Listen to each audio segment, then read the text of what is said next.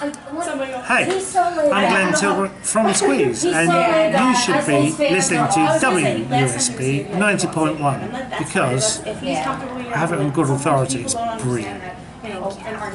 You're the best.